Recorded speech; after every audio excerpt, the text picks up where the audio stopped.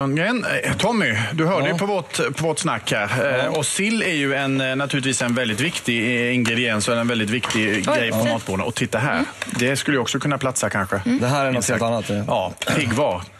Inte på julbordet kanske. Nej. Nej, eh, men oj vad gott till frukost. Eller hur? Ja. Ser fantastiskt ut. Det här är från boken, kanske det dyraste receptet då, men eh, fantastiskt gott. Ja. Pocherad piggvar, kaviarsås. Vad, hur dyrt är det där? Ja, det kostar några kronor. Det skulle du aldrig kunna ha på julbordet. Alltså, du Ja, det- sabba ekonomin. Absolut. Ja. TB. Ja. Vi måste... Ja, men det är otroligt härligt. Så att det, här, det här tycker jag är, är hur man ska äta riktigt fin fisk. Att inte ha för mycket så här konstiga grejer utan bara härliga råvaror, enkel god smak och så bara härlig sås. Och sen tycker jag just att sås och fisk det hänger ihop på något konstigt sätt. Man, mer än, man kan säga köttsås och potatis men fisk, sås och potatis är nästan ännu godare. Man vill liksom Men ha om man är intresserad av att tjäna pengar på att äta, Äta julbord. julbord. Har du då några särskilda tips? Nej, men alltså på ditt julbord som Ja. du kommer servera i Vad år. Vad är man det, det som du vill att folk inte ska ta? Ska jag berätta det här? Ja, ja, ja, vad är Nej, det men man, dyraste? rent ge- generellt kan man ju säga att alla typer av charkuterier är relativt dyra om man t- tittar liksom kring på inköpskostnaden. Ja. Men sen har jag faktiskt inte räknat på det, men det finns ju vissa grejer som kanske tar lång tid att arbeta med. Att man lägger Ja. mycket arbetskostnad på det. Men serverar du någon dyr blåmögelost till exempel? Ja, men det finns ost och så vidare. Ja, vad är det, Ost, 200 kronor kilot eller? Ja, lätt. Ja, ja. 300, tre- Nötter. 300 till och med om man har. Och finns det någon övre gräns? Får man ta hur mycket man vill? Nej. Ja, det får man ju.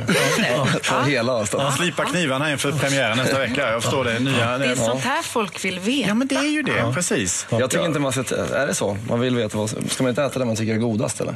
Nej, det Ja, ska man inte. det- Jag tycker man ska äta hela julbordet, Gröt hela resan faktiskt. Ja, ja. Tommy, några enkla tips eh, hur man eh, gravar sill. Vi har några Ja. minuter på oss. Gravad ström... Alltså sill pratar vi ofta om. men Vi pratar inte så ofta om eh, strömming. Det är ju Jag samma pratar fisk. nästan bara om strömming. Men här har vi jag då, det här är den strömmingsfilén. De här är väldigt färska, så det är lite svårt att göra här nu. Men jag har så här. Och då, men när man gravar den så har man ju inga, inget skinn på eller något sånt, för man steker ju inte, utan man vill ha en så här elegant känsla. Och sen så drar man den bara så här av. Sen gravning i vanliga fall när vi pratar om den, liksom man gräver ner i jorden och så vidare. Salt och socker och så vidare. Men gravad strömming, då har man faktiskt en, ett spad. Så här är vatten, ättika. Och då kan man säga två deciliter ättika per liter vatten. Mm. Inget socker. Och sen har man salt och socker i också. Då. Och då brukar jag säga, då kan man, om man vill ha det enkelt för sig, nu brukar jag experimentera med det här receptet, men det är enkelt, alltså en liter vatten, två deciliter ättika, två matskedar salt, två matskedar socker. Ja, den gamla Ett, två, tumregeln. två, två. Ja, ett, två, två, två. Två, två, två. Så det är inte så 1, 2, 3 som man har när man lägger in sill och så vidare, utan en annan grej. Har du någon bra musik förresten att spela till det, Tommy? Ja, men här är ju här enkel Ja. mat, Ja. Waterboys, Fisherman's Blues, på riktigt. Fantastiskt. På riktigt. Vi kör igång den tycker jag. En fantastisk Kommer låt. den nu? Den kommer. Ja, okej. Och det här är lite grann ir- irländsk folkmusik, känns ju lite så här jobba med händerna, Kändes det som en riktig gammal gum, gumma när man står här Ja. Och hur länge ska det ligga där i då? Är det Ja, bra? det här ska ligga tills att fisken är helt alltså, vit rakt igenom. Och det är ett bra sätt att kolla. Och när man ser hur man gör det här, man står och drar strömming, då förstår jag att det ligger ganska mycket jobb bakom. Det är inte bara Gör det. att göra. Man julbord och så är det massa, så slafsar man upp. Det tycker jag är viktigast, att det man har tagit, se till att äta upp det. Att ta inte, alltså, vet, gå hellre en gång till och ta lite mindre varje gång. Man ser ofta gäster som lastar på hela tallriken. Blåmögelost. Och så äter man inte upp. Nej. Och det tycker jag är det allra värsta. Alltså, Det det ta så mycket som du orkar.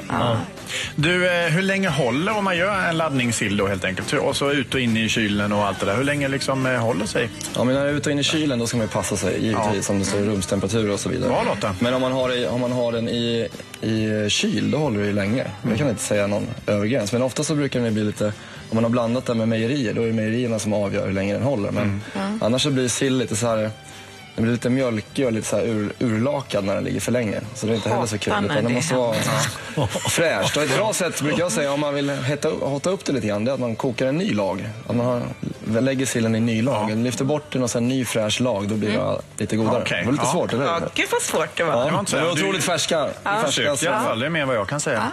Men eh, vilken är din favoritsill? Erik? Ja, men jag är ju som du, jag gillar ju skitbarnslig.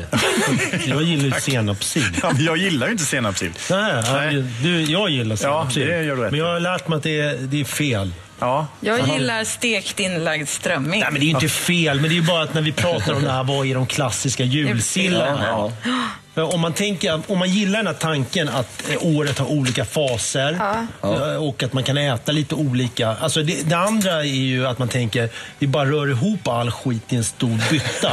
och och som vi äter av hela året. Ja, det är kul. Ja, Det är bra. det lockar ju mig på många sätt, Ja, ja, ja. den tanken. Men om man, om man å andra sidan tänker att det kanske blir lite mer stämningsfullt om man på julen äter mat som traditionellt förknippas med julen. Då har Lotta lärt mig att senapssillen inte är rätt. Nej. Det finns väl en tanke med att försöka äta den sillen som smakar lite grann som ens eh, släktingar väldigt mycket längre bak i tiden. Så som Mm. de smakade när de åt den. Och då kanske man inte ska försöka eh, göra sillen till något dramatiskt annorlunda utan att den kan få smaka så som den smakade för dem. Vi Precis. ser ju lite på julbordet som en mötesplats va? mellan de av oss som lever, de som ännu inte är födda och vi som lever nu. Härlig avslutning på detta underbart bildande snack. Tack snälla för att ni kom hit. Tack så fan. Kul. Ja, det är vi som ska tacka. Tack för sillhandeln där. Tack. Eh, Hörni, eh, efter elva så blir det ett, ett